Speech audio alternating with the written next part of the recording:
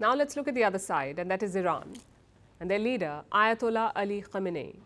Khamenei is Iran's Grand Ayatollah. That's a religious title. It makes him the ultimate authority in theocratic Iran.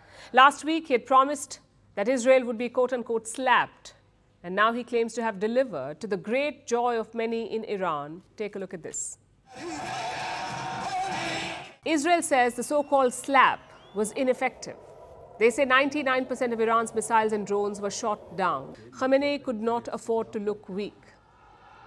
He could not afford for the people of Iran or for the Iranian proxies outside to think that the regime cannot stand up to Israel. So, in some ways, last night's attack was Khamenei's only option. Of course, that does not make it right, and it will have its own set of consequences. Khamenei may have stamped out some domestic embers of resentment, but he may have just started a fire around the world.